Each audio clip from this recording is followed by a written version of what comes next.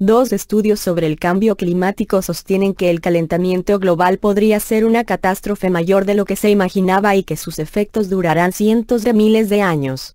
El primer estudio, publicado por investigadores del Instituto Scripps de Oceanografía en California, explica cómo serían nuestros océanos si no se frena la emisión de gases de efecto invernadero como el dióxido de carbono, CO2, y la descripción es preocupante.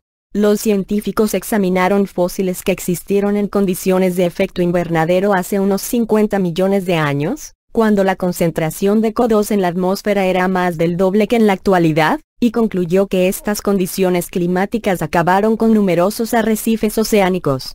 Debido al calentamiento de las aguas, los arrecifes de coral, también denominados bosques marinos, fueron reemplazados por aparcamientos de grava, dijo el investigador Richard Norris al portal de Internet Redorbit.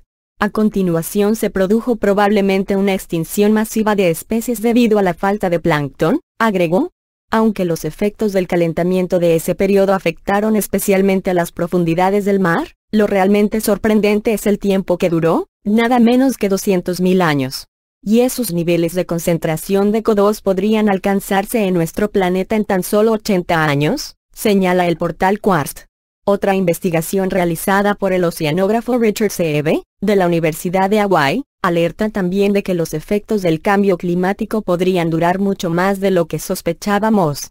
Seebe descubrió que, con el tiempo, la Tierra puede llegar a ser más vulnerable a los gases de efecto invernadero, lo que significa que un aumento relativamente bajo de CO2 puede incrementar de manera significativa las temperaturas.